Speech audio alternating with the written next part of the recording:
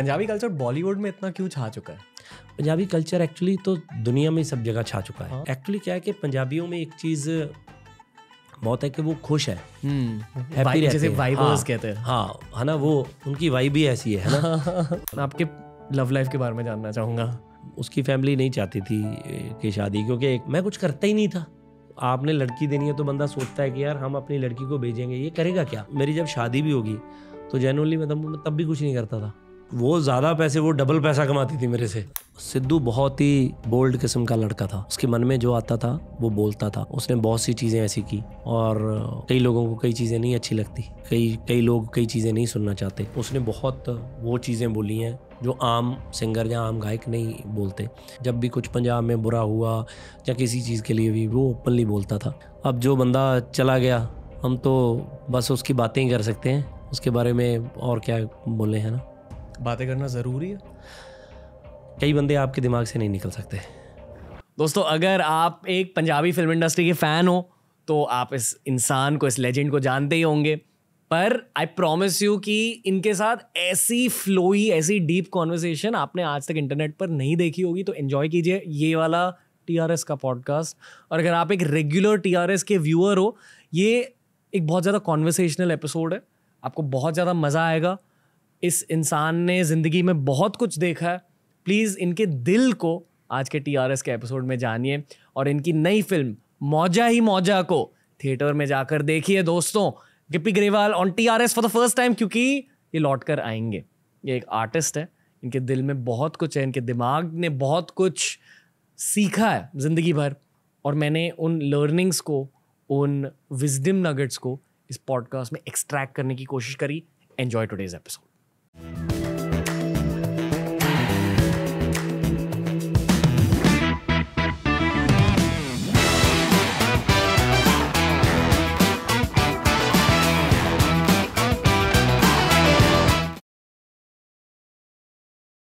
Podcast की शुरुआत गिप्पी ग्रेवाल पाजी के साथ। थैंक यू कि आप घर आ गए पाजी। अरे थैंक यू सो मच मैंने तो इतना सुना कि ये पॉडकास्ट इतना इंटरेस्टिंग होता है। सो so, सारी टीम ने मुझे पता नहीं क्या क्या बोल रखा है। तो मैंने कहा कि वहाँ वहाँ जाके ही देखूँगा कि क्या हो रहा है। नहीं नहीं। आई एम सो एक्साइटेड नहीं नहीं सेम सेम पाजी। थैंक यू कैसे हो आप लाइफ में? बहुत अच्छा हूँ जी बहुत खुश हूँ। और बहुत एक्चुअली बहुत खुश हूँ। हाँ क्यों? एक्चुअली जो टाइम चल रहा है मेरा ये एक वो टाइम है मेरे लिए कि आप एक आप ड्रीम लेते हो। मैंने ये इसका ड्रीम भी नहीं लिया कभी। तो मेरे ड्रीम भी बहुत छोटे थे। मतलब मेरे को था कि यार आ, फ़िल्में पसंद हैं म्यूज़िक पसंद है। मैं काम करता था तो मुझे लगता था कि यार जितना पैसा मेरा घर चलाने के लिए दूसरे काम से बनता है काश कहीं वो म्यूज़िक या फ़िल्मों से बनने लग जाए तो मतलब ज़िंदगी कमाल हो जाएगी। तो ये तो कभी सोचा ही नहीं था कि मैं ऐसे पॉपुलर सिंगर बन जाऊँगा या एक्टर बन जाऊँगा इस मुकाम पे पहुँच जाऊँगा कि लोग बोलेंगे कि यार ये हो गया वो हो गया ऐसी चीज़ें। मतलब ये ड्रीम में भी नहीं था ना? तो आज उस पोजीशन पे हूँ and I am so happy and so excited जो मतलब आपने कभी सोचा भी नहीं आज आपके साथ वो हो रहा है प्यार मिल रहा है लोगों का हर चीज़ है तो और क्या चाहिए? ओके रीसेंट फ़ेज़ में आप क्या सीख रहे हो? आ, सीख तो मुझे ऐसा लगता है कि जो एक सीखने वाली लर्निंग प्रोसेस है ना वो तो आदमी के मरने तक चलता है। तो मतलब वो तो रेगुलरली चलना ही चलना है। हर बार कोई ना कोई चीज़ से सीखते हैं और आर्टिस्ट की एक लाइफ ऐसी है कि उसका स्ट्रगल हमेशा बढ़ता है कम कभी नहीं हो सकता। वाह। ऑलवेज बढ़ता है ऑलवेज अभी रिसेंट अगर मैं बात करूँ तो अभी कैरी ऑन जट्टा आई है। सो कैरी ऑन जट्टा ने सौ करोड़ कर दिया तो उसने मेरी स्ट्रगल दस गुना ज़्यादा बढ़ा दी है। क्यों? अरे आपकी फ़िल्म ने ये किया है अब आगे क्या करोगे आप? आप आगे आपको ये करना है आगे आपको वो करना है पंजाबी इंडस्ट्री आपको देख रही है लेट्स सी के आगे क्या होगा। आपके मन में स्ट्रेस अगर दो फ़िल्में राइट नहीं जाती तो बोलते हैं कि शायद उसमें तुक्का लग गया भाई चाहे जितनी मर्ज़ी हिट दी है आपने तो वो लोग सब भूल जाते हैं। तो आपको फिर उसको याद दिलाना पड़ता है। स्टार बनना मुश्किल नहीं है उसको सस्टेन करना मुश्किल है वहाँ पे खड़े रहना मुश्किल है। वो फ़िल्में बार बार आपको अच्छा प्रोडक्ट लेके आना और आज की आज की क्या एक नॉर्मल बात है आपको कोई फ़िल्म अच्छी लगती है ये ज़रूरी नहीं है कि वो फ़िल्म मेरे को भी अच्छी लगे। तो अगर सौ बंदा फ़िल्म को अच्छा भी बोलता है तो दस बंदे बोलते हैं कि अच्छी नहीं है। तो पहले तो पता नहीं चलता था क्योंकि सोशल मीडिया नहीं था अभी पता चलता है। अभी समझ नहीं आती कि यार ये चीज़ ठीक है या ये चीज़ गलत है। तो फिर हम ओवरऑल वोटिंग के प्रोसेस से चलते हैं कि यार सौ राइट बोल रहा है दस गलत बोल रहे हैं। अगर सौ गलत बोल रहा है दस राइट बोल रहे हैं तो हमें लगता है कि नहीं यार हमने गलत किया है। तो उस हिसाब से चलते हैं। So so many things like this okay मतलब थोड़ा सा प्रेशर फील होता है परफॉर्मेंस प्रेशर तो प्रेशर तो होना ही चाहिए। मुझे लगता है कि प्रेशर तो रहना चाहिए। आपने जिम्मेवारी ली पहचान होती है। हाँ जिम्मेवारी है आपके ऊपर। आपने एक आप एक अहदे पे हो एक पोस्ट पे हो एक डेजिग्नेटेड पोस्ट है ये। हम्म, देखा जाए तो। प्रॉपरली आपको लोग देख रहे हैं आपको कुछ भी आप चीज़ करते हो तो कई चीज़ें ऐसी हो जाती हैं कि यार आपको ये नहीं करना चाहिए वो नहीं करना चाहिए। तो मुझे लगता है कि वो चीज़ों का ध्यान भी रखना चाहिए। कहीं ना कहीं वो सोसाइटी में जो हमारी जॉब है हमें उसको ध्यान में रख के ही चीज़ें करनी चाहिए। इसलिए पंजाब आपसे प्यार करता अरे थैंक यू नहीं सॉरी गले में पता नहीं क्या हो गया। मैं इमोशनल हो गया। बहुत प्यार करता है पंजाब आपसे। Thank you thank you Punjabi culture आपके लिए क्या है? पंजाबी कल्चर तो सब कुछ है हमारे लिए जी। अब पंजाबी कल्चर की मैंने मंजे बिस्तरे पंजाबी कल्चर ही था। तो पंजाबी कल्चर ने तो पंजाबी लैंग्वेज पंजाबी कल्चर कई कई बार हम इधर उधर जाते हैं तो हमें लोग बोल देते हैं कि आप पंजाबी माँ बोली की पंजाबी कल्चर की सेवा करते हो। मैं क्या हम कहाँ कर रहे हैं? पंजाबी कल्चर और पंजाबी माँ बोली हमारी सेवा कर रहा है। उनकी वजह से हमारा घर चल रहा है उनकी वजह से हमें रोटी मिल रही है। हम अपनी चीज़ें राइट कर रहे हैं बस सिर्फ़ एक चीज़ का डर रहता है हमेशा कि उन लोगों ने यहाँ तक आपको पहुँचाया है। उन लोगों ने यहाँ तक आपको लेके आए हैं।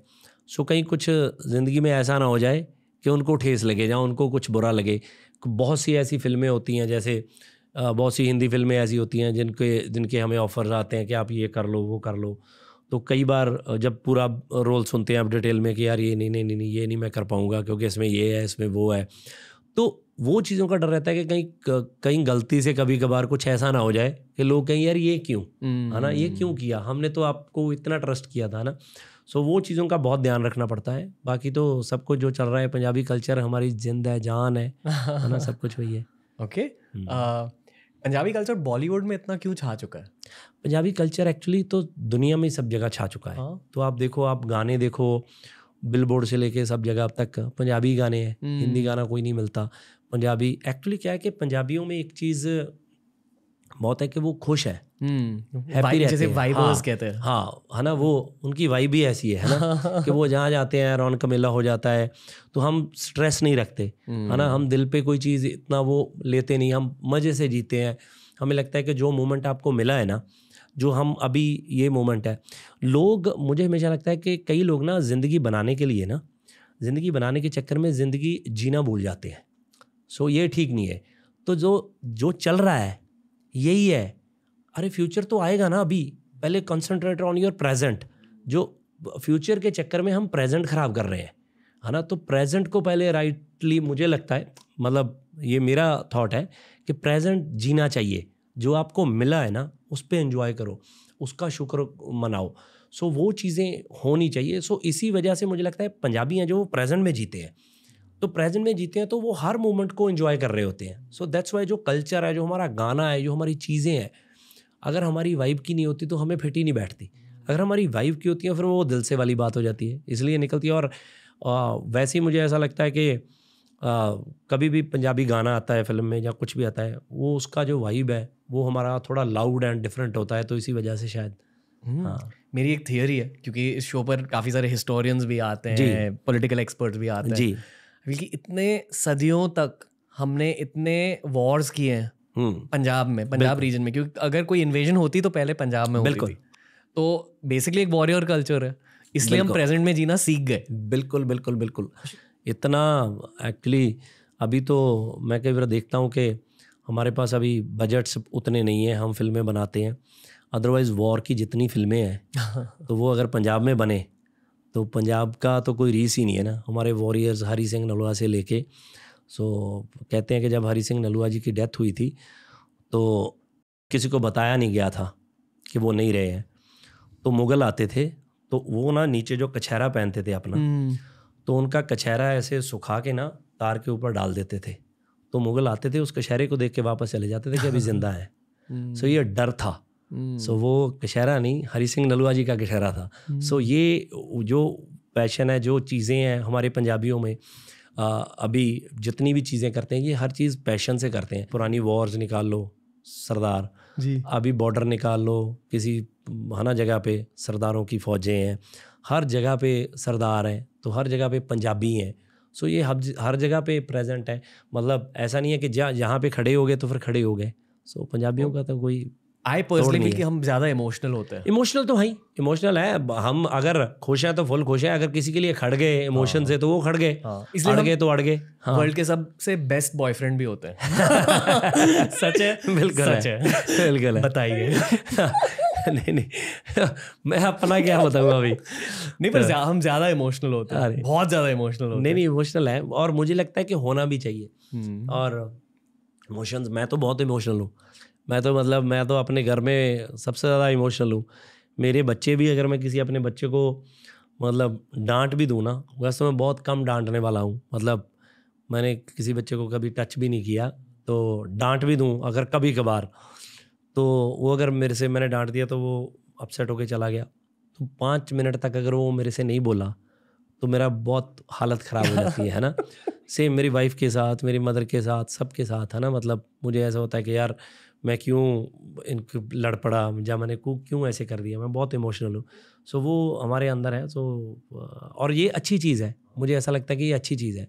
जिनके लिए आप जिनके साथ आप अटैच्ड हो जिनके साथ आप जुड़े हो हमें ये चीज़ें क्योंकि हमने कभी ज़िंदगी में ना आ, कोई भी चीज़ है अगर किसी के साथ दोस्ती है फ्रेंडशिप है तो हम दोस्तों के साथ भी ऐसे हैं क्योंकि हमने कभी सोचा नहीं कि कोई मेरा दोस्त मेरे साथ बुरा करेगा और हम भी नहीं करेंगे। तो अगर कोई ऐसी चीज़ होती है तो हमें वो हर्ट होती है तो इमोशनल तो है ही। सबसे बड़ा सपना जो होता है ना स्पेशली लड़कों के दिलों में हाँ। वो ये है कि जो लड़की मेरे साथ स्टार्ट में थी हाँ, वो मेरे साथ अब तक हाँ, भी मेरे वो- साथ वो है, हो स्पेशली हमारे जनरेशन के लड़कों के। बिल्कुल बिल्कुल क्योंकि आजकल रिलेशनशिप्स टिकते नहीं। बिल्कुल। इसलिए बिल्कुल। आपके लव लाइफ के बारे में जानना जी जी जी।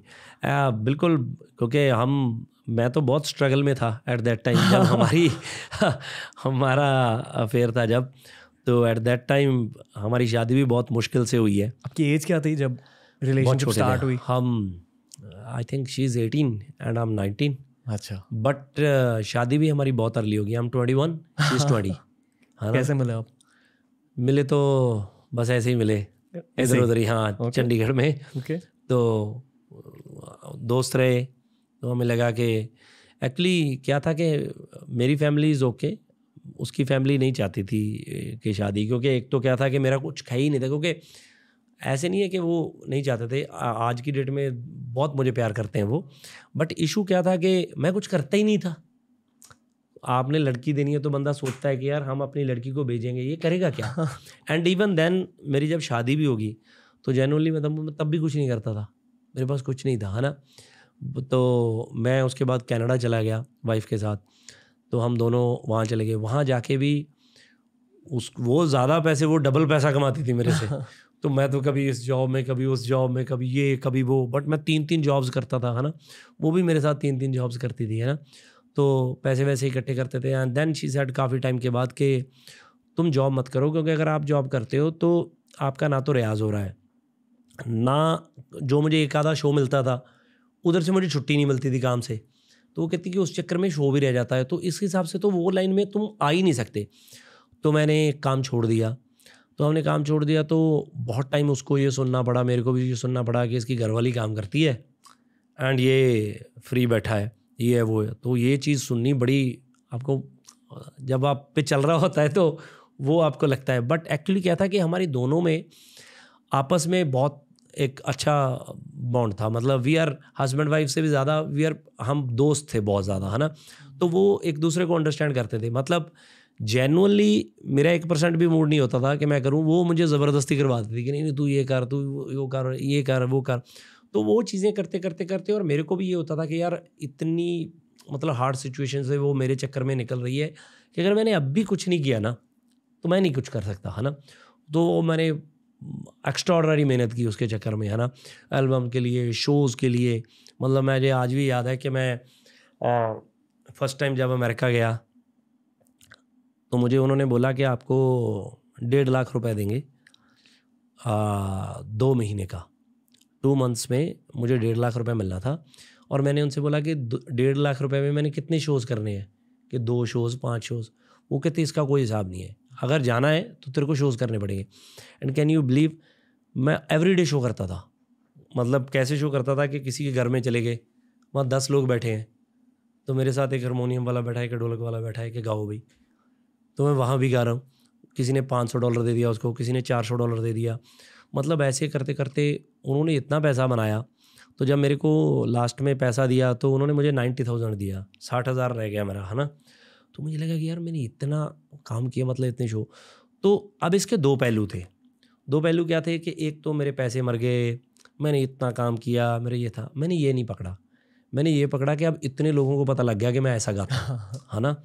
कि मैं नेक्स्ट टाइम हूँ। तो मुझे नेक्स्ट टाइम किसी और प्रमोटर ने बुलाया। उसने मुझे तीन लाख रुपए में बुलाया। हम्म। कहता कि जितने मर्ज़ी शो कराएँगे मैं क्या भाई करा ले। ठीक है? तो मैं तीन लाख में गया फिर मैं डबल में गया मैं ट्रिपल में गया फिर आहिस्ता आहिस्ता बिल्कुल ही गेम चेंज हो गई है ना? तो मतलब कि ये मेरे हिसाब से शो होने लग गए मुझे ये चाहिए इस सॉल में शो करो ये पैसा लगेगा ये टीम जाएगी ब्ला ब्ला ब्ला तो वो अगर तब नहीं किया होता तो इस मुकाम पे पहुँचती ना। सो मेरी स्ट्रगल का जो पार्ट था वो अगर मेरी वाइफ मुझे पुश ना करती मुझे सपोर्ट ना करती तो वो चीज़ आज इस जगह पे पहुँच ही नहीं सकता था मैं। मतलब फाइनेंशियली सपोर्ट किया था? नहीं नहीं सब जगह भाई फाइनेंशियली भी बहुत सपोर्ट किया मुझे क्योंकि वो पैसा कमाती थी। मैं पैसा नहीं कमाता था। उसके ही पैसे लगते थे। मैंने जो एल्बम करी है, एक थर्ड एल्बम करी, उसके लिए मेरे पास बिल्कुल पैसा नहीं था। पहली एल्बम के लिए मेरे फ्रेंड सर्कल ने जो मेरे कज़न वगैरह सारे बाहर बैठे थे, उन्होंने पैसा भेजा मुझे। तो मेरे पास तो पैसा नहीं था। वो फिर एल्बम ही नहीं चली। दूसरी एल्बम फिर लेफ़्ट राइट इधर उधर से करके मैंने पकड़ पकड़ किया, कुछ नहीं था। तो अब तीसरी एल्बम के लिए पैसे ही नहीं था। तो देन माई वाइफ वो ठीक काम कर रही थी तो मैं भी वहाँ पे थोड़ा बहुत करने लग गया। फिर मैंने छोड़ा तो वो पैसे लेके उन्हीं पैसों से टिकट लेके आया उन्हीं पैसों से एल्बम करी वो करी तब जाके चीज़ें राइट हुई। बहुत टेक्स टाइम इमोशनली कैसे सपोर्ट किया था? बहुत किया बहुत किया। मैं बताया कि मैंने तो इतना कुछ सुना लाइफ में ये चीज़ें सुनी। सो अब मुझे सब चीज़ें अच्छी अच्छी लगती हैं क्योंकि एक्चुअली क्या है मैं एक चीज़ सोचता हूँ अगर मुझे आज का पूछो अभी कि आपको कैसा लगता है? मुझे ऐसा लगता है कि वो जो चीज़ें थी उस वक्त वाली इमोशनली वो, अगर मेरी ज़िंदगी में वो नहीं आते तो शायद मैं इस लाइफ को इन्जॉय नहीं कर पाता। तो शायद मुझे लग रहा था कि यार, बड़े आराम से मिल गया, मेरे में तो टैलेंट ही इतना है, मैंने ये कर लिया, मैंने वो कर लिया, है ना? तो स्ट्रगल जो वर्ड है ना, ये हर बंदे की ज़िंदगी में आना बहुत ज़रूरी है। तो तब आया तो आज उसकी वजह से मुझे मज़ा आ रहा है कि यार, कमाल है, हमने ये किया था, हमने वो किया था। और बाकी क्या है कि बाकी जो लोग हैं ना तो जो आपके रिश्तेदार होते हैं, या कई बार आपके सर्कल में होते हैं, या जो मुझे दैट टाइम जो बोलते थे कि यार ये ये कुछ नहीं करता इसकी बीवी सारा काम करती है। वो आज कभी कभार मुझे वाइफ बोलती है कि आजकल वो उल्टा बोलते हैं वो बोलते हैं कि सारा दिन इसका पति काम करता है और ये एंजॉय कर रही है। ये कर रही है वो तो एक चीज़ तो रहनी है। तो मैंने कहा कि ठीक है तो करो एंजॉय और और मज़े करो। हाँ। तो काम किया है मेहनत करी है और मैं सबको बोलता हूँ कि जो आप कमा रहे हो जो आप मेहनत कर रहे हो आपको इन्जॉय करना चाहिए, अपनी फैमिली के साथ टाइम बताना चाहिए। हॉलीडेज़ पे जाया करो, बच्चों के साथ टाइम स्पेंड किया करो, क्योंकि ये टाइम वापस नहीं आना। और सबसे इम्पोर्टेंट बच्चे बड़े हो रहे हैं तो अगर आप बिज़ी बिज़ी रहोगे वो बचपन थोड़ी वापस आना है। है ना? हम्म। आप बोलोगे कि यार मैं टाइम वापस ले आऊँ वो नहीं। जो उसकी अभी क्यूटनेस है जो अभी आपको वो चीज़ें बोल रहा है उसने वापस ज़िंदगी में नहीं बोलनी। सो हम्म। so, उसके लिए आपको टाइम निकालना चाहिए सबके लिए। ये सब मेरे लाइफ गोल्स है, है? आप कह रहे हो। अच्छा? हाँ, हाँ नहीं नहीं ये होने चाहिए। ये और मैं आपको बताऊँ एक टाइम आ जाता है ये बाकी चीज़ें मैटर नहीं करती आपको। आपको यही चीज़ें मैटर करती फैमिली हाँ यही चीज़ें मैटर करती हैं। और मैं आपको बताऊँ जब आपकी लाइफ में कुछ बैड होता है, कुछ अच्छा होता है, कोई भी चीज़ होती है। अच्छा होता है क्या मुझे नहीं पता। अगर आपकी लाइफ में कुछ बैड होता है ना, तब आपको आपकी बीवी, आपका माँ, आपके भाई वो याद आते हैं। तो वो उन्हीं के साथ शेयर करते हो, फिर घूम फिर के चीज़ें वहीं पे आती हैं। वही आपको वो एक सपोर्ट देते हैं, जिस सपोर्ट की कई बार आपको ज़रूरत होती है। आपको हर थोड़े थोड़े टाइम के बाद उन चीज़ों की ज़रूरत होती है कि यार वो आपको कहते हैं कि, अरे नहीं यार, हो जाएगा, तू क्यों ऐसे सोच रहा है? वी आर विद यू है ना? तो वो जो आपको पता होता है कि ना ये सच में मेरे साथ है। तो तब आपको उन चीज़ों की वैल्यू पता लगती है। सो so, उस चीज़ का मुझे ऐसा लगता है कि रहना ही चाहिए दिमाग में। और आपको डेली ये चीज़ तो आपके दिमाग में आपको डेली याद करनी चाहिए सुबह उठ के कि मैं भगवान का थैंक्स करूँ। वाहगुरु आपने मुझे जो दिया है वो मतलब पॉसिबल नहीं था। आपको पता होना चाहिए कि आपकी लाइफ में जैसे मैं बोलता हूँ कि मेरी वाइफ ने मेरे लिए ये किया है आपके परिवार ने आपके लिए क्या है वो आपको डेली रिमाइंडर चाहिए कि आप कुछ गलत ना करो। आप कोई चीज़ ऐसी ना करो कि जो उनको हर्ट करे या हम्म। किसी को भी वो चीज़ करे। एक मिनट हाँ। वी कैन एक्चुअली कंटिन्यू मतलब तुम लोग खाना ला सकते हो ऐसा। ये भी पॉडकास्ट में होगा कि अब खाना आने वाला अरे। यही होता है। पॉडकास्ट सॉरी मैं खाना नहीं, नहीं, नहीं, भी बाजी। मतलब मैं ये बोलने लगा हूँ कि मैं खाता भी बड़े खतरनाक तरीके से हूँ। एंजॉय अगर एक पंजाबी के सामने कोई और खा रहा होता है तो खुशी वाली बात होती है। मुझे खुशी फील हो रही है। पनीर अच्छा लगता है आपको? सब कुछ अच्छा लगता है जी। ओके। कोई कोई ऐसा फ़ूड आइटम है जो आप खाते नहीं? नहीं खाता। मैं ना वैसे मैं मश वैसे मैं दो तीन चीज़ें ऐसी नहीं खाता जो लोग बहुत खाते हैं। ओके। एक राजमा। सेम है? मुझे भी पता नहीं क्यों। अच्छा? हाँ। वो पता नहीं क्यों मेरा क्या है ना मैं जब होटल मैनेजमेंट करता था हाँ। तो मैं हॉस्टल में रहता था तो वहाँ रोज ही राजमा बनते था। तो मैंने इतना खा लिया ज़िंदगी में कि मेरा मन ही अक गया मतलब अब मुझे पता नहीं कितने साल हो गए कि मैंने टेस्ट नहीं देखा। मेरे घर में दूर दूर मेरे सारे सर्कल में पता है कि ये खाता नहीं कोई मुझे पूछता ही नहीं है। हम्म, वो चीज़। तो बाकी मैं चीज़ें खा लेता हूँ मैं थोड़ी मशरूम कम खाता हूँ। ओके तो बाकी सब खा ही लेता हूँ। ठीक है आप खाओ मैं आपको एक चीज़ बताता हूँ। तो न्यूरो साइंस में दिमाग मतलब ब्रेन रिलेटेड साइंस में एक कॉन्सेप्ट होता है इम्प्लिसिट मेमोरीज ठीक है? कौन सा? इम्प्लिसिट मेमोरीज कहते हैं ठीक है? कॉन्सेप्ट बेसिकली ये है कि अगर आपके बचपन में मान लो कोई ऐसा इंसिडेंट हुआ होगा जहाँ आप कोई चीज़ खा रहे हो मान लो आप मशरूम खा रहे थे जब आप चार साल के थे ठीक है तो आपने आप मशरूम खा रहे थे और तभी आपकी वजह से पानी गिर गया टेबल पर। हाँ। और वहाँ आपकी मम्मी आ गई और मम्मी ने आपको चिल्लाया कि अरे यार क्या कर दिया? क्यों पानी गिराया? क्योंकि उनका भी दिन बुरा चल रहा था। हम्म। फिर आप उस दुख को और उस डर को मशरूम के साथ एसोसिएट करने लगते हो। अच्छा। और फिर बड़े होकर आपको याद भी नहीं होता कि ये हुआ था लाइफ में पर आपको मशरूम्स अच्छे नहीं लगते। तो ये एक मतलब जब कोई आपकी हिप्नोथेरेपी ले रहा होता है इम्प्लिसिट मेमोरीज टैप इन करता। पर अभी पता नहीं है। मुझे ऐसा लगता है कि मेरी केस में ऐसा नहीं होगा। मतलब ये बड़ा मुश्किल है। और मुझे ऐसा लगता है कि इतनी मुश्किल बीमारी तो कभी हो नहीं सकती। जिसका नाम ही ऐसे हो ना।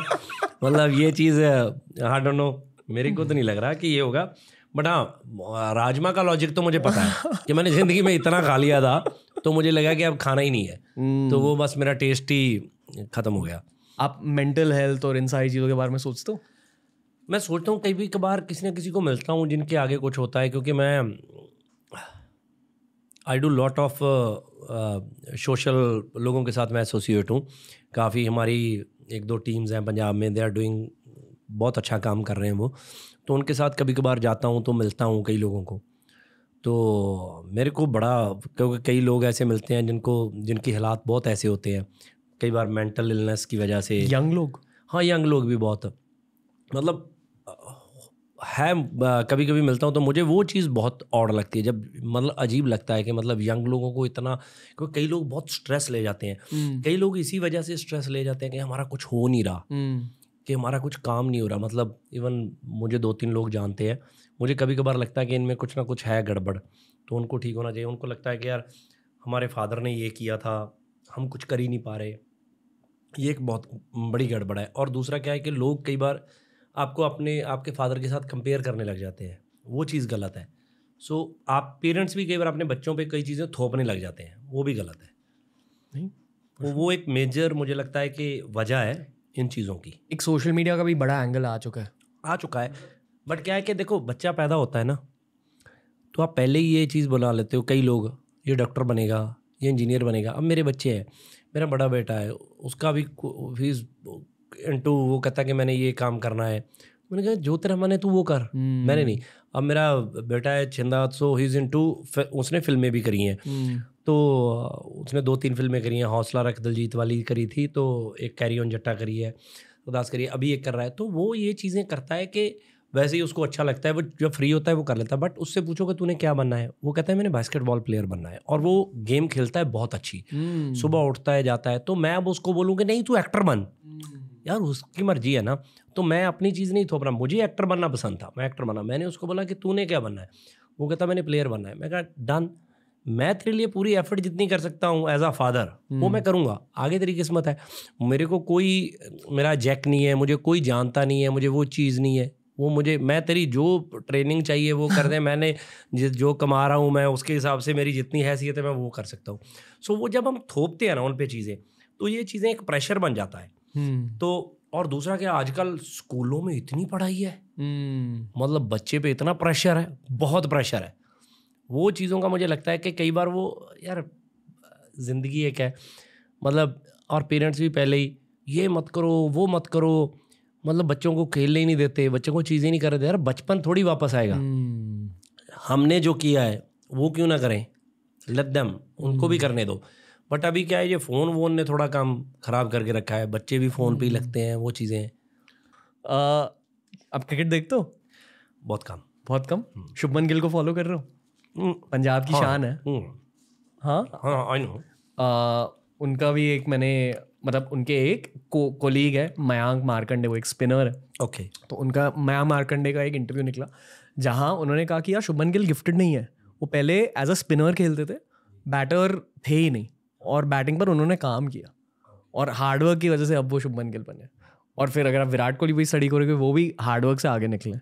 अगेन uh, ये ये पूरा पॉडकास्ट थोड़ा पंजाबी सेंट्रिक हो रहा है पर आई पर्सनली फील कि हम थोड़े ज़्यादा पागलों जैसे हार्डवर्क कर सकते हैं। कर सकते हैं। हमें वो कैपेसिटी होती कुछ है। नहीं है। यार काम तो आपको करना ही पड़ेगा। हम्म। कोई भी चीज़ है अगर देखो ऐसे नहीं है कि आपके अंदर कोई चीज़ नहीं है और आप सीख जाओगे। जी। अगर आपके अंदर है आप पॉलिश ज़रूर कर सकते हो। हम्म। उसकी कोई एज लिमिट नहीं है आप जब मर्ज़ी करो उसको पूरा करो। जब इमोशंस के बारे में बात करी आप इमोशंस काम में भी डाल सकते हो। हाँ बिल्कुल डाल सकते हो क्यों नहीं डाल सकते हो? हर जगह पे डाल सकते हो। पैशन है इमोशन है आपका मन है कि आपने ये करना है आपने वो करना है so you can do anything which is why मुझे बहुत अजीब लगता है कि ये जो हमने मेंटल हेल्थ की बात करी है स्पेशली पंजाब रिलेटेड पता है पूरे देश में एक नैरेटिव है पंजाब यूथ को लेकर उड़ता पंजाब के बाद कि ड्रग प्रॉब्लम है पंजाब जी, जी। में और क्या है असलियत है? देखो ड्रग प्रॉब्लम तो सभी जगह पे है। ऐसा नहीं है कि ड्रग प्रॉब्लम कहीं पे है नहीं सब जगह पे है। ऐसा नहीं है कि पंजाब में ही पंजाब में है बट ये है कि जब दो तीन फ़िल्मों में आ गई ये चीज़ तो बहुत ज़्यादा हाईलाइट होगी। सो अदरवाइज़ ऐसा नहीं है कि पंजाब में ड्रग ही ड्रग है। ऐसा बिल्कुल नहीं है। मैं मैंने अपनी पूरी ज़िंदगी में कभी वाइन का भी टेस्ट नहीं किया। इवन मेरा पूरा सर्कल जानता है। मैंने कभी शराब सिगरेट कोई चीज़ टच नहीं किया आज तक। तो मैं मैं हार्ड कोर पंजाबी हूँ। बिल्कुल लुधियाने कूमकलां पिंड मेरा वहीं पे पैदा हुआ हूँ वहीं पे पला हूँ। और जेनुअनली मेरा कोई दोस्त ड्रगी नहीं है। मेरे को एक भी जानता हो कि कोई ड्रगी है। हाँ ऐसा नहीं है कि है नहीं है बट वो सभी जगह पे है। और दूसरा क्या है कि किसी को आप ज़बरदस्ती ड्रग पे नहीं लगा सकते हो। कई बार क्या होता है कि इश्यूज़ क्या हो जाते हैं कि आप, आपके पास कोई काम नहीं है, आप उन्हीं लोगों के साथ बैठे हो, जो डेली यही कुछ करते हैं कभी कभार बंदा बहक जाता है। वो चीज़ें हो सकती हैं बट ऐसा नहीं है कि पंजाब टोटली ड्रग ड्रग है, ऐसा बिल्कुल नहीं है। मतलब है इशू है, ये मैं मानता हूँ बट ऐसा नहीं है। जैसे कई बार हम यहाँ पे आके सोचते हैं कि लोगों को लगता है कि पंजाब में जाएँगे तो ऐसा ही है ऐसा ही बिल्कुल नहीं है। हम्म, हाँ असलियत क्या है? असलियत मतलब मुझे ऐसा लगता है कि जैसे जो चीज़ें हैं ये ये सब जगह पे ही चल रही हैं यहाँ पे बहुत चल रही हैं। मतलब मैं तो कई बार यहाँ पे आता था तो मुझे लगता था कि अरे ये क्या है? मतलब ऐसे ही यहाँ पे आना तो वो सब जगह पे है। ऐसा नहीं है कि पंजाब पंजाब में ही है पंजाब में भी है बट ऐसा नहीं है जैसे हम पिक्चरों में दिखाते हैं कि ड्रग ड्रग चल रही है वो नहीं है। उड़ता पंजाब चली थी पंजाब में? उड़ता पंजाब ठीक चली थी पंजाब। ओके। हाँ हाँ। पर तब प्रॉब्लम ज़्यादा थी या ऐसे कुछ? एक्चुअली क्या है कि मैं आपको बताऊँ जब कोई फ़िल्म आती है तो अब आ, फ़िल्म तो गदर भी चली है फ़िल्म तो अब पठान भी चली है तो फ़िल्म तो अब जवान भी चली है।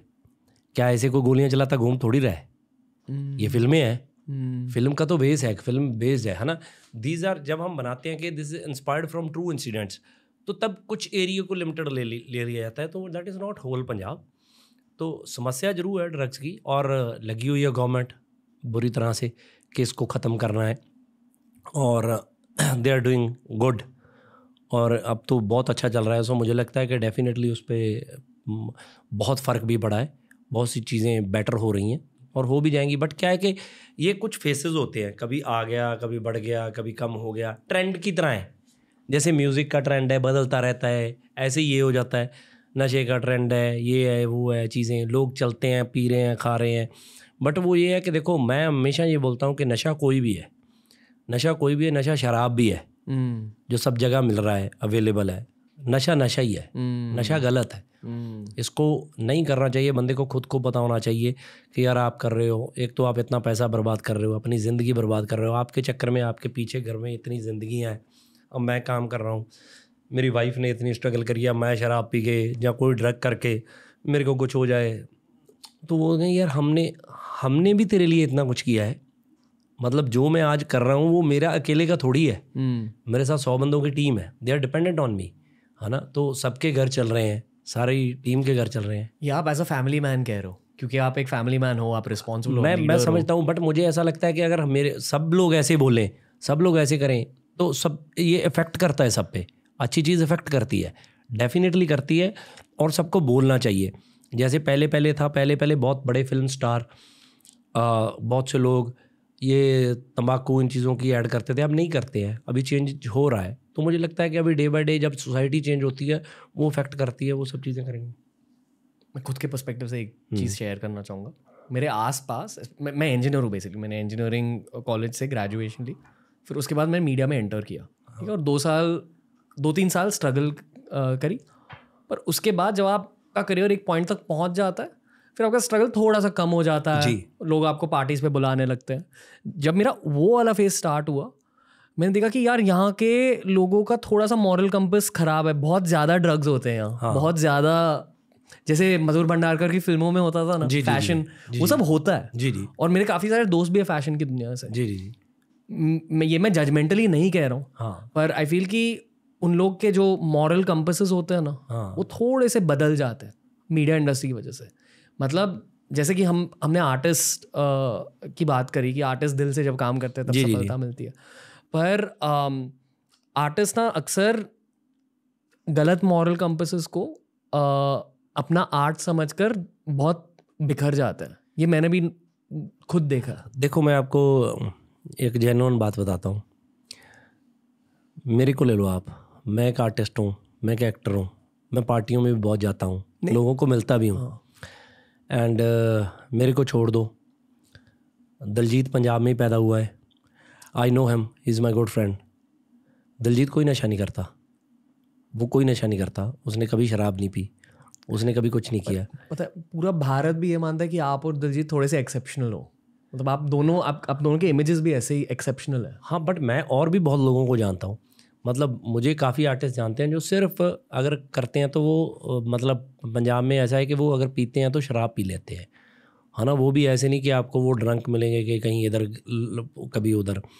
तो मैं यहाँ पे आया बहुत टाइम पहले। तो मैं एक बार आया तो एक दो बार यहाँ पे मुझे किसी ने बुलाया कि आ जाओ उधर। तो मैं बैठा, गया। तो इतना यहाँ पे ओपनली चलती हैं चीज़ें है ना? हाँ। तो मेरे तो समझ से ही बाहर था वो है ना? चीटिंग भी तो ओपन भी हाँ, होती। तो मैं क्या यार मतलब ये तो बड़ी अनबिलीवेबल सी बात है। तो बट यहाँ पे वो कल्चर है पंजाब में ऐसा अभी नहीं है। पंजाब में ऐसा कुछ अभी नहीं है। आर्टिस्टों में तो बिल्कुल भी नहीं है। मुझे बहुत अजीब लगता है ये कल्चर कि मतलब मेरे काफ़ी सारे फ्रेंड्स हैं जिनका मॉरल कंपस बिखर गया है। मतलब चीट करते हैं अपने बॉयफ्रेंड्स पर अपने ये ये ना पर। ये ये पर्सन टू पर्सन भी है। ये पर्सन टू पर्सन to है। है। हाँ सिटी टू सिटी है पर्सन टू पर्सन है। और दूसरा पता क्या है कि मैं हमेशा सबको ये बोलता हूँ कि आपको ना मतलब आप मेरे से क्वेश्चन पूछ रहे हो मैं अपने आंसर बता रहा हूँ। अगर आप कुछ मेरे से ऐसा बुलवाना चाहते हो कि मैं उसके फ्लो में बोल जाऊँ तो ये मेरे पे है ना कि मैं क्या बोलूँ क्या नहीं।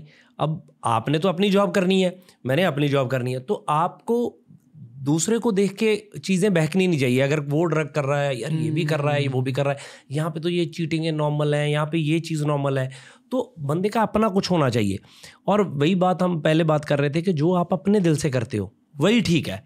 जो आप दूसरे की कनेक्शन से करते हो वो कभी भी ठीक नहीं हो सकता। ये जो कॉन्वर्जेशन हम कर रहे हैं हाँ। मैं ये कोशिश नहीं कर रहा हूँ कि आपसे कुछ नहीं नहीं नहीं, नहीं मैं ये नहीं बोल रहा हूँ। मेरा मैं तो मैं आपको ये बोल रहा हूँ कि ऐसा बिल्कुल ये मैं बोल रहा हूँ कि आपको कोई भी स्टेटमेंट है ना आपको कोई भी चीज़ है जहाँ आप कोई भी चीज़ लाइफ में करते हो। अब मैं फ़िल्म करता हूँ। मैं फ़िल्म करता हूँ नॉर्मली एक लॉजिक क्या है लोगों का लॉजिक है। फ़िल्म हिट हो गई तो हीरो बोलता है मेरी है। फ्लॉप होगी तो वो बोलता है मैंने डायरेक्टर को पहले ही ऐसे बोला था। ये प्रोड्यूसर ने ऐसे करा लिया। मैंने मुझे ये करनी है। सुनाई थी तब ऐसे थी वैसे यार जो हिट होती है वो क्यों नहीं सुनाते सुनाते चेंज हुई तेरी? वो क्यों नहीं? जब कोई चीज़ गलत होती है उसमें भी सबका फॉल्ट है। जब हिट होती है, उसमें भी सबकी सबकी एफर्ट है है ना? सो वो कॉमन है। सो अभी मुझे लगता है कि अगर आप किसी को देख के वो चीज़ें कर रहे हो तो आप ऐसे दूसरे को ब्लेम नहीं कर सकते कि सिटी टू सिटी या ये पर्सन टू पर्सन है। यहाँ पे भी बहुत लोग हैं, मुझे कई लोग मेरे यहाँ पे भी दोस्त हैं, जो उनको मैं बोलता हूँ कि, यार, ये यहाँ रहते हैं, इन्होंने कभी कुछ नहीं खाया, पिया, कभी कुछ नशा नहीं किया, कभी कुछ ऐसे नहीं किया, वैसे नहीं किया। हाँ बट कई लोग हैं जो मतलब डेली ऐसे चलता है उनका तो सोचते हैं कि, यार हाउ है ना, वो चीज़ तो देखो प्रैक्टिकली तो अगर कहीं पे भी है जैसे हम आप बात कर रहे थे कि पंजाब में नशा ज़्यादा है या यहाँ पे नशा ज़्यादा है तो आप ये तो मानते हो ना कि यहाँ पे नशा भी चलता है बहुत। तो बेसिकली तो कहाँ से आता है? लीगल है। ओवरबोर्ड इसलिए नहीं जाता बॉम्बे में क्योंकि बॉम्बे बहुत एक्सपेंसिव शहर है। जी जी जी। से लोग खुद पर थोड़ा सा कंट्रोल कर लेते हैं पर ओवरऑल ऑन एन एवरेज यहाँ के लोग बहुत कुछ करते हैं। हाँ बहुत कुछ और सबसे बड़ा नशा सेक्स होता है। हम्म, सब कुछ करते वो वो तो मतलब है ही बिल्कुल बिल्कुल यहाँ पे है सब कुछ। ओके पर हम हिट फ़िल्मों की बातें कर रहे थे। आपने कहा कि एक टीम एफर्ट होता है। जी जी जी। म्यूज़िक में भी यही सच है? म्यूज़िक में सब चीज़ों में यही सच है। कोई भी आर्ट फॉर्म में? नहीं नहीं सब नहीं सब चीज़ों में देखो अब म्यूज़िक में क्या है कि म्यूज़िक हो गया फ़िल्में होगी सब में यही है। टीम तो है ही है राइटर लिखता है वो कंपोज का म्यूज़िक डायरेक्टर अगर कंपोजर कंपोज करता है म्यूज़िक वाला म्यूज़िक करता है गाने वाला गाता है फिर राइट चीज़ डिलीवर होती है। सम टाइम म्यूज़िक वीडियो अच्छा बनता है कभी नहीं बनता है। अब टाइम टाइम की बात है तो कई बार ये बात डिस्कस भी हुई है जब अंग्रेज़ी बीट गाना आया तो वो मुझे सबसे ऐसे लगा कि हनी ने बोला कि यार मैं एल्बम कर रहा हूँ इसमें एक गाना करना है बाजी। तो मुझे लगा कि यार हनी की एल्बम है एक फेवर ही है इसके लिए। तो वो गाने पे सबसे कम काम हुआ कि जैसे बिल्कुल ही काम नहीं हुआ और उसका म्यूज़िक एक बीट थी बनी हुई। फटाफट एक छोटे से उसमें लेके हमने गाया तो डम्मी टाइप ही गाया था कि इसको फाइनल करेंगे। उसके लास्ट जो अंतरा था हम पंजाबी में हमेशा लास्ट अंतरे में लास्ट पैराग्राफ में आ, राइटर का नाम डाल देते हैं। उस राइटर का नाम ही नहीं है वीत बलजीत का उसमें।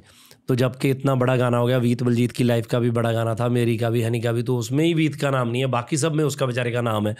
तो ये चीज़ें सोची नहीं गई थी कि ऐसे होंगी वैसे होंगी। और उसका म्यूज़िक वीडियो मुझे आज भी याद है कि हमने थाईलैंड शूट किया। तो मैं कनाडा से आया तो बहुत आ, उस वक्त का महँगा वीडियो था। तो आफ्टर दैट वो जो आ, वीडियो डायरेक्टर थे उनके साथ कुछ आ, किसी का हनी का कुछ उन्होंने कुछ बोल दिया पता नहीं क्या हुआ। मैं सब हो गया तो हनी कहता कि हमने ये वीडियो नहीं करना। मैंने कहा ठीक है। तो मैंने कहा कि ऐसे ही ऑडियो निकाल दो ओके है। तो ऑडियो हो गया। ऑडियो इतना हिट हो गया कि कंपनी वाले कहते कि हमें वीडियो दो वीडियो दो वीडियो दो। हनी कहता जितना पैसा उन्होंने वीडियो के लिए दिया था वो तो थाईलैंड ख़त्म हो गया। तो कहता यहाँ पे बाजी कर लेते हैं। तो पचास साठ हज़ार में उसका वीडियो बना। ठीक है? वो हम स्कूटर लेके खड़े हैं ये वो बुला बुला और वो इतना हिट हो गया गाना बाद में कॉकटेल में आ गया कहाँ तक चला गया? मतलब हिट का कोई फॉर्मूला नहीं है। हिट का हम्म। कोई फॉर्मूला नहीं है। वो टीम एफर्ट थी वो उसने किया मैंने किया चाहे हमने मज़ाक में किया लाइट हार्ट किया बट अब मैं बोलूँ कि मैंने ही गाया अच्छा। हनी बोले मैंने बीट बनाई अच्छी। राइटर बोलेगा कि मैंने लिखा अच्छा। अगर पंच ना लिखता अंग्रेज़ी भी हिट थे। हम्म। तो ये सबकी एफर्ट है। जो कॉमन हम्म। है। वो चाहे कोई बंदा माने चाहे ना माने बट ये सबकी एफर्ट है। हनीबाजी आए थे शो पर। हाँ। आपने मीम्स देखे हैं क्या उस शो के? उन्होंने कहा कि आपको दिल्ली में लेके जाऊँगा। कुछ अच्छा। दिखाऊँगा कुछ महसूस कराऊँगा। अच्छा। बड़ा मीम बन चुका था वो। अच्छा। आ, पर जब मैंने उनसे बात करी लोग ना अक्सर पॉडकास्ट से एक क्लिप उठा लेते हैं। हाँ। और उन्हें ये लगता है कि उस क्लिप की वजह से पूरा पॉडकास्ट डिफाइन हो सकता है। तो हाँ. पॉडकास्ट में इतनी सारी बातें होती हैं। हाँ. और एक्चुअली एक पॉडकास्टर को उसके गेस्ट के बारे में बहुत कुछ पता चलता है जो हाँ, शायद लोगों को भी नहीं बिल्कुल, पता चलता। बिल्कुल बिल्कुल क्योंकि ये इन पर्सन बिल्कुल बिल्कुल बिल्कुल। बिल्कुल और एनर्जी एक्सचेंज होती है। जी जी जी। हनी सिंह से मुझे एक जीनियस वाली एनर्जी मिली। जी जी। पूरे तरह से एक जीनियस एक्सेंट्रिक जीनियस है। जी जी मतलब ये मैं पॉजिटिवली कह रहा हूँ कॉम्प्लीमेंट कर रहा हूँ पर डेफिनेटली थोड़े से अलग है वो। हाँ। और उस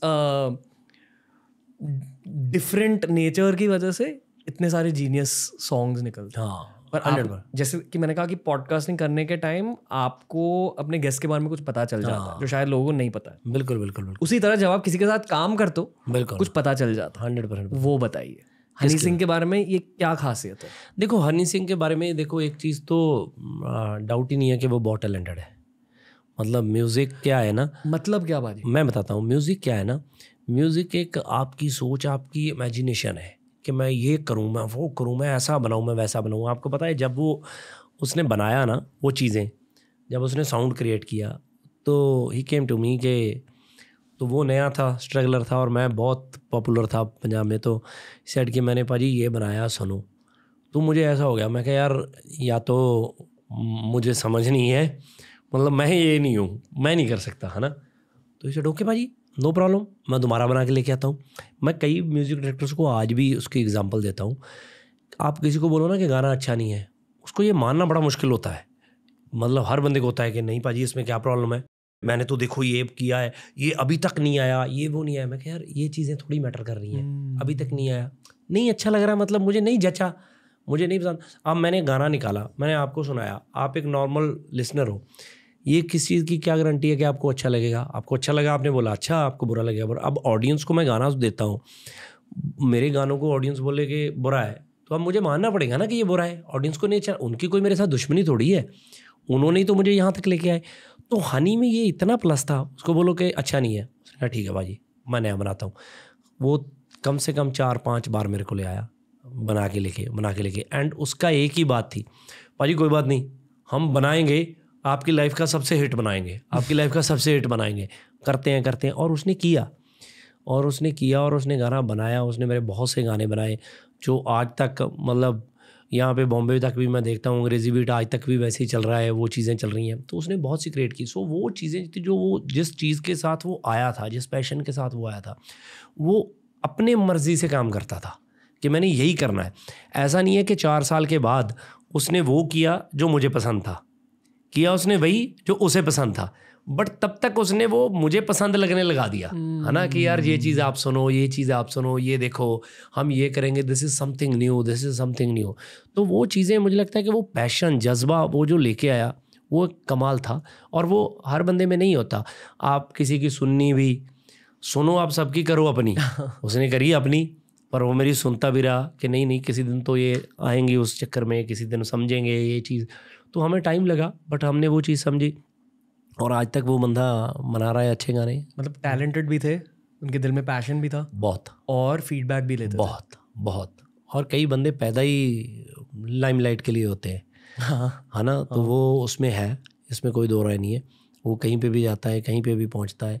तो ऐसे नहीं हो सकता कि हनी सिंह कहीं पे गया है तो आप उसको इग्नोर कर दो। कि हनी बैठा है। हाँ। तो वो उसमें आपके है। बारे में भी ये मैं मानता हूँ। मेरे में उतना नहीं है जितना उसमें उनमें है उनमें बहुत चीज़ें है तो मैं थोड़ा वैसे सोबर हूँ कई चीज़ों में तो पर एक प्रेजेंस होता है। हाँ वो है बट वो आ, हाँ और एक अलग चीज़ है बट एक आप जैसे रणवीर सिंह आता है जी जी। तो वो अगर किसी को नहीं भी पता है तो वो बता जाता है कि अरे सुन मैं रणवीर हूँ। मैं नहीं बोल सकता ना ये चीज़। हम्म। तो वो हो जाता है कई लोगों में।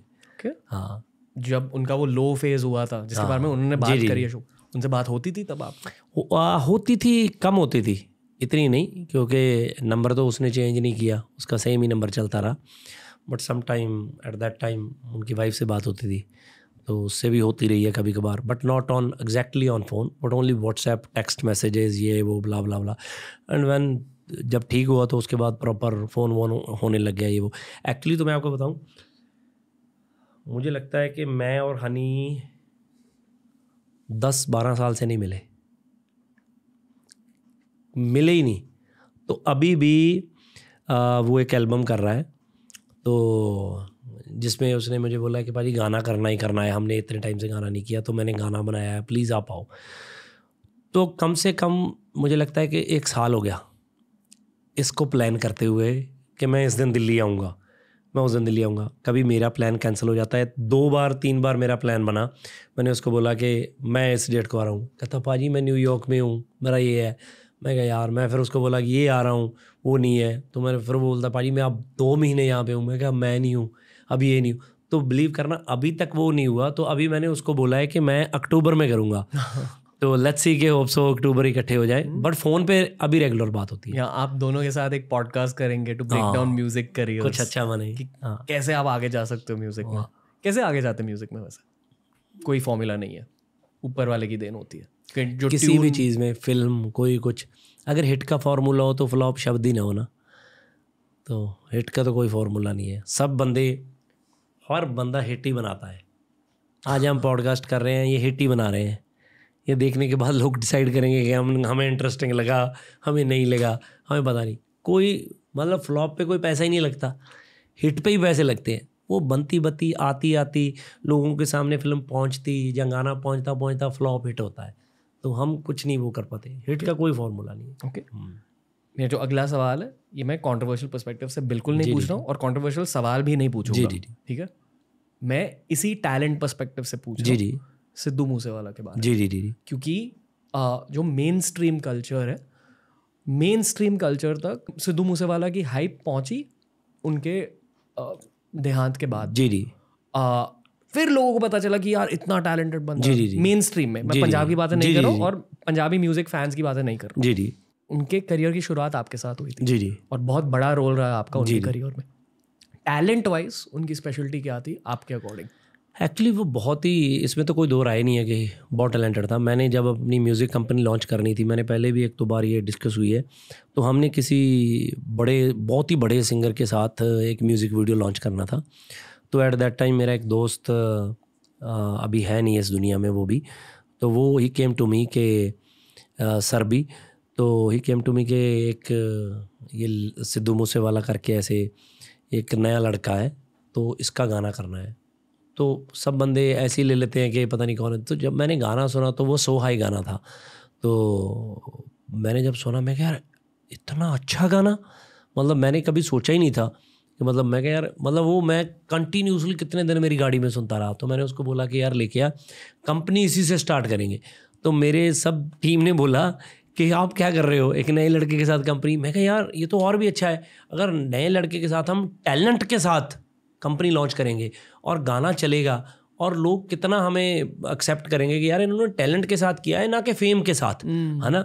सो टैलेंट होना चाहिए। तो वो टचवुड इतना चला गाना तो तब तक एक दो सिद्धू के और भी गाने आ गए थे वो भी चलने शुरू हो गए थे। तो हमारा दूसरा तीसरा गाना फिर ये आ गया उसके बाद ये तो इतना ही बड़ा हिट हो गया। बट क्या है कि ऐसा नहीं है कि उनकी डेथ के बाद वो मेन स्ट्रीम में पहुँचे हैं। ड्रेक वगैरह उनको पहले से फॉलो करते थे तो वो सब लोग आ, उन उन तक पहुँच चुका था सिद्धू। और दूसरा क्या है कि देखो उसको किसी की ज़रूरत नहीं थी जो मुझे लगता है। मैं हमेशा कहता हूँ जैसे मैं यहाँ के लोग मुझे बोल देते हैं कि आपने गाना निकाला सो हाई। यार ये तो मैं वही बात बोलता हूँ कि टैलेंट को थोड़ी को रोक सकता है। अगर मैं नहीं निकालता वो किसी और ने निकाल देना था। तो चला तो गाना ना। तो चला गाना इसमें हमारा तो कोई एफर्ट ही नहीं है। हमारे लिए ये हो गया कि यार हम भी जुड़ गए उसके साथ। एक बड़े टैलेंट के साथ हम भी जुड़ गए। तो अनबिलीवेबल सक्सेस थी वो। और जहाँ जहाँ तक उसका गाना गया जो भी सुनता था उसका फ़ैन होता था। और आज की डेट में भी मतलब उसके बाद भी उसके गाने हर ट्रेंडिंग लिस्ट में नंबर वन पे हैं। सो उसका तो कोई तोड़ ही नहीं है। और टैलेंट और क्या होता है मुझे ऐसा लगता है कि टैलेंट थोड़ी कभी मरता है। टैलेंट तो रहता ही है और वो तो रहेगा ही जब पहली बार आपने उनका गाना सुना था उस दिन जब पहली बार सुना था तो आपके लिए स्ट्राइकिंग फीचर क्या था उनके म्यूज़िक के बारे एक्चुअली क्या है ना कई बंदे आपको शुरू में ही आपको अपील कर जाते हैं। जैसे मैं आई बिग फ़ैन ऑफ़ चमकीला मुझे गाने अच्छे लगते हैं चमकीले के मैंने बहुत सुने हैं बहुत से उस कंपोजिशन गाई भी हैं। तो कोई कोई आर्टिस्ट होता है आपको एकदम जम जाता है। पैशन पैशन तो है ही है मतलब उनकी टेक्सचर आवाज़ का टेक्सचर और गायकी का जो लहजा है, हर बंदा अपने स्टाइल से गाता है। मतलब सिद्धू कैसा था वो अपना नया ट्रेंड लेके आया, ना तो किसी ने कॉपी किया, ना उसने किसी को कॉपी किया, ना उसको को कॉपी कर सकता है, क्योंकि वो अलग ही था, वो जोन ही अलग था। कंपोजिशंस ऐसी लेके आया फील ऐसा लेके आया मतलब सिंगिंग में उसने ऐसा ऐसा कुछ गा दिया। और शुरू शुरू में लोगों को लगता था कि पता नहीं बहुत सीधा सीधा गाता है और उसने इतना टेढ़ा गाया और उसने अपने मतलब नॉर्मल गानों में भी अपनी गायकी इतनी बखूब दिखाई इतनी बारीकी में गाता था वो और ऐसा नहीं था कि ऐसे ही बंदा आ गया और स्टार बन गया। सीखा हुआ लड़का था बहुत और टचवुड आज भी जो गाने आ रहे हैं तो मतलब इतनी दे- आज आज की डेट में गानों की लाइफ का क्या है? कुछ भी नहीं है। आज गाना हिट होता है छः महीने में गाना ख़त्म और एक वही सरवाइव कर रहा है सिद्धू जिसके गाने जब से आए हुए हैं सब वैसे ही चल रहे हैं। मोस्टली मेन स्ट्रीम में एक और नैरेटिव है कि लोग उनके पेरेंट्स के बारे में बहुत ज़्यादा सोचते हैं जी, जी, जी। उनसे बात होती है आप जी जी उनसे कैसे हो? अब ये तो देखो ये तो क्वेश्चन ही मतलब जिनका बेटा एक ही एक बेटा है वो ना हो तो वो कैसे होंगे? सो वो तो ऑब्वियसली एक्चुअली उनका दुख थोड़ा कोई समझ सकता है। मतलब हम हम उनको आ, आप उनके साथ दुख बांट सकते हो आप कर सकते हो बट उनकी तरह फील थोड़ी कर सकते हो आप। उनके लिए तो जो है वो तो उनकी तरफ़ सिर्फ़ प्यार भेज सकते हैं। हाँ और कुछ नहीं है। और क्या है कि वो जो वो फील करते हैं अगर देखो आपका बेटा हो सुपरस्टार घर पे मतलब घर पे रौनक लगी रहती है मेला लगता है मतलब ऐसे लगता है कि यार सारी दुनिया यही है। अब वही नहीं है तो अब क्या होगा? तो मतलब उनके लिए तो जो उन पर बीत रही है वो तो कोई बंदा महसूस भी नहीं कर सकता ना। सो मैं तो मतलब ऐसा ऐसा किसी के साथ भी ना हो। मतलब ऐसा किसी के साथ भी ना हो बेचारे जो लाइफ उनकी होगी अभी जैसा वो फील करते हैं। जबकि सारा पंजाब सारा पंजाबी सारी दुनिया उनको सारा देश उनको प्यार करता है उनको अपनी सपोर्ट देता है बट फिर भी मतलब जो हो गया उसके लिए तो कुछ है ही नहीं हाँ। सॉरी मैं ये पूछ रहा हूँ आपसे रिलेटेड हम्म। चीज़। आपने क्या सीखा है पूरे फ़ेज़ से? इस चीज़ का तो मतलब हर बंदे का अपना अपना लहजा है। सो सिद्धू बहुत ही बोल्ड किस्म का लड़का था। उसके मन में जो आता था, वो बोलता था। उसने बहुत सी चीज़ें ऐसी की और कई लोगों को कई चीज़ें नहीं अच्छी लगती। कई कई लोग कई चीज़ें नहीं सुनना चाहते। उसने बहुत वो चीज़ें बोली हैं जो आम सिंगर या आम गायक नहीं बोलते। लोगों की आवाज़ थी, हर चीज़ के लिए उसने बोला है। जब भी कुछ पंजाब में बुरा हुआ या किसी चीज़ के लिए भी, वो ओपनली बोलता था।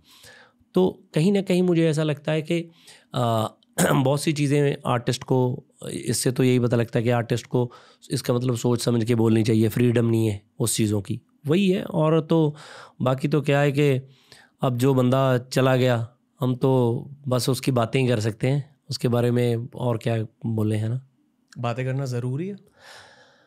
कई बंदे आपके दिमाग से नहीं निकल सकते। सिद्धू आपके यहाँ प्रेजेंटली वो फिज़िकली वो प्रेजेंट है या नहीं है बट वो लोग उसको बुला नहीं सकते। क्योंकि बहुत से आर्टिस्ट हैं, बहुत कई लोग हैं कभी कभार पैदा होते हैं तो वो तो एक ही था मतलब बहुत टाइम के बाद। तो अभी चमकीला जी की बात करते हैं तो जब मैं छोटा था, मैंने अपनी लाइफ में पहला जो शो जिसको अखाड़ा बोलते हैं हम, वो चमकीला जी का देखा था। सो मैं बहुत छोटा था फ़र्स्ट रो में बैठा था तो उनको देखा ये वो। तो थोड़े टाइम के बाद ही उनकी डेथ होगी। तो तब मुझे पता नहीं था कि वो कितने बड़े आर्टिस्ट हैं क्योंकि मैं बहुत छोटा था। तो आहिस्ता आहिस्ता आहिस्ता आहिस्ता पता लगा। तो अभी तक आप आज देखो आज चमकीले के ऊपर फ़िल्में बन रही हैं है ना? तो कितना वक्त हो गया है? तो लोग भूल थोड़ी रहे हैं। वो उसके ज़्यादा आप लोगों को बताते जा रहे हो आप अपने बच्चों को बताते जा रहे हो। So Sidhu is like one of them एक आखिरी सवाल है उनसे रिलेटेड जी। पर एज अ ब्रो वो कैसे थे? बहुत अच्छा था बहुत अच्छा था। और मैं आपको बताऊँ वो बहुत ही शरीफ बच्चा था। मतलब टचवुड जितना मेरे साथ इक्वेशन रही है। मैं सीनियर था तो मेरे साथ बिल्कुल ऐसे नहीं था क्योंकि मेरा जो कज़न है हमारा पाना तो बिल्कुल मेरा जो राइट हैंड है। तो वो उसके साथ बहुत फ्री था तो दे आर लाइक ब्रोज वो काइंड ऑफ़ फील था उनका, है ना? तो मेरे साथ आके थोड़ा ऐसे उनको हो जाता था कि भाई आ गया है तो थोड़ा वो चीज़। मैंने कुछ भी उसको बोला है ना तो उसका हमेशा आया था हाँ भाई, ठीक है भाई हाँ ठीक है भाई हाँ हाँ बिल्कुल भाई, गले कोई नहीं, ये है, वो है। मैंने जब उसको बुलाया, वो तभी प्रेजेंट हुआ, कभी ऐसा नहीं है। So he such a good human being ऐसा बिल्कुल नहीं था ब्रोज बिल्कुल है। तो अब क्या है कि मैं उसको इतना अंदर जितना मैं जानता था, मेरे सिर्फ़ ये जानता था मैं कि वो इतना अच्छा है, वो इतना शरीफ है, घर पे आया, सबको मिलना, मेरे बच्चों के साथ, सबके साथ इट्स वेरी गुड तो बट मैं बहुत ज़्यादा उसके साथ वो नहीं था। तो वो लोग थे आपस में। तो मैंने तो कभी ऐसा मतलब एक्सपेक्टेड भी नहीं था। अब क्या है कि बहुत सी चीज़ें आपको आ, जब लोग बोलते हैं कि ये गुस्से वाला था ये ऐसे था वैसे था तो मुझे तो लगता नहीं है इतना क्योंकि हमारे फंक्शनों में भी बहुत आया। हम बहुत चीज़ चीज़ें सेलिब्रेट करी। तो बट मुझे फिर भी ऐसा लगता है कि देखो लोगों की एक नेचर है। मतलब उसको जितना प्यार पहले मिलना चाहिए था उसके बाद मिला। हर चीज़ को जितनी नेगेटिविटी जितनी चीज़ों का उसने सामना किया मतलब उसके घर पे कभी कुछ हो गया कभी बाहर लोग आके बैठ गए धरने पे बैठ गए कभी किसी ने कुछ बोल दिया कोई कोई कंप्लेंट फ़ाइल हो गई कभी एफ़ आई आर हो गई कभी कुछ हो गया। मतलब उसने सही मायने से जितना वो सुपरस्टार था उतना अपने टैलेंट का एंजॉय ही नहीं किया। उसने मतलब उतनी स्टारडम का एंजॉय ही नहीं किया। उसकी फैमिली भी स्ट्रेस में ही रहती थी कभी ये हो गया वो गया उसके बाद ये चीज़ होगी। सो मतलब ऐसे ही एक कमेंट पढ़ा था मैंने हाँ। एक वीडियो के नीचे जहाँ लिखा था Sidhu Moosewala we hope you rest in peace but also rest in power. उनकी एक लेगेसी है। वो तो है ही वो तो वो तो फैला रहेगी, दी है देश में। वो तो एक्चुअली क्या है ना वही चीज़ है कि जो ऑडियंस है आप- जितना मर्ज़ी बोल लो आप किसी का वोट खरीद सकते हो। दिल थोड़ी खरीद सकते हो। हाँ हाँ वाह। दिल कैसे खरीद लोगे? आपके अंदर जो है अब तो वही चीज़ वो है ना जो अगर मैं किसी को प्यार करता हूँ तो मैं करता हूँ। मैं हो सकता किसी के सामने जाके ना बोलूँ ये करूँ वो करूँ पर इनर तो मेरा वही है ना तो वो चीज़ें तो रहेंगी रहेंगी। सॉरी ऐसी बातें करी पर पता नहीं आपके साथ मैं भी बहुत एकदम ना। खुल चुका हूँ। आप, आपकी प्रेजेंस ऐसी है कि बहुत दिल वाली बातें होती हैं। शायद it's a reflection of your own heart Gippy बाजी जी। एक आखिरी सवाल है आपके जी। क्योंकि बहुत सारे म्यूज़िक एस्पायरिंग म्यूजिशियंस। ये वाला पॉडकास्ट सुन रहे हैं। जी।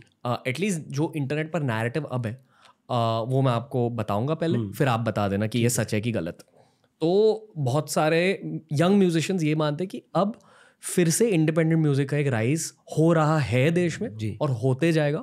और अ, जैसे इतने सालों तक पंजाब की बातें नहीं कर रहा हूँ देश भर की बातें कर रहा हूँ। शायद पंजाब एक एक्सेप्शन है। हाँ। पर देश भर में इंडिपेंडेंट म्यूजिशियंस का इतना ज़्यादा प्रेजेंस नहीं था। नाइन्टीज में एक फ़ेज़ था जहाँ सोनू निगम हाँ यूफोरिया दीवाना हाँ पॉप म्यूज़िक वो सब आर्यंस पर अब फिर से एक वो पॉप म्यूज़िक का फ़ेज़ स्टार्ट हो रहा है प्रतीक कुहाड़ के साथ या रिटवेज ऐसे लोगों के साथ। मैं पंजाब इंडस्ट्री की बात ही नहीं कर रहा। जी।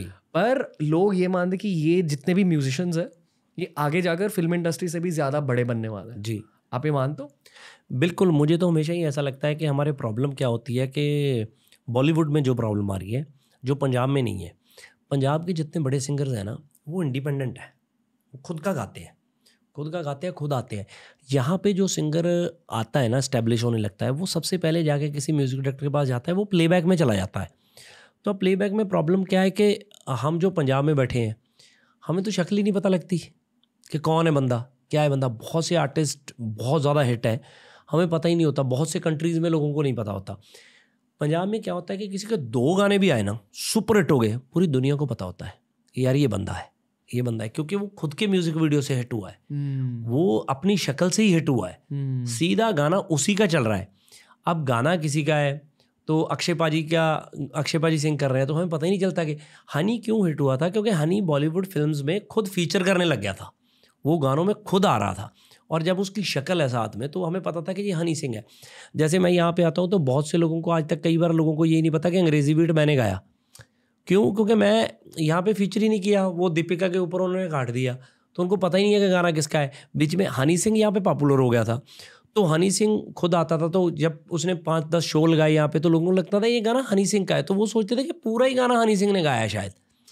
तो वो एक्चुअली हनी का भी फॉल्ट नहीं है। किसी और का भी फॉल्ट नहीं है वो मेरा ही फॉल्ट है क्योंकि मैं यहाँ पे आया ही नहीं। मैंने अपनी शक्ल ही नहीं दिखाई। तो अब मुझे ऐसा लगता है कि अगर इंडिपेंडेंट म्यूज़िक करना है तो आप लोगों को इंडिपेंडेंट गाने निकालने पड़ेंगे। आप लोगों को एक एफर्ट मारना पड़ेगा स्ट्रगल मारना पड़ेगा कि उस गाने को प्रॉपरली प्रमोट किया जाए प्रॉपर बैंग ऑन किया जाए। तब जाके वो गाने चलेंगे पंजाबी आर्टिस्ट ऐसा करते हैं। तो आज जितने भी आर्टिस्ट हिट हैं वो सब इसी वजह से हिट है। उन्होंने अपने इंडिपेंडेंट गाने और उन्होंने उन पर ज़ोर लगाया। तब जाके वो गाने हिट हुए। इसे टोटली कहते हैं न्यू एज मीडिया हाँ। जैसे पॉडकास्ट भी। जी जी जी। मतलब एक नया फ़ेज़ स्टार्ट हो रहा है मीडिया बिल्कुल बिल्कुल। और आई थिंक स्पेशली हमारे देश में बहुत ज़्यादा अपॉर्चुनिटी है हाँ। के लिए। बहुत है। वैसे तो इंडिपेंडेंट म्यूज़िक आप पूरी दुनिया में देखो सब जगह ही हिट है। सिर्फ़ बॉलीवुड में पहले बहुत हिट था। अभी पीछे नहीं रहा।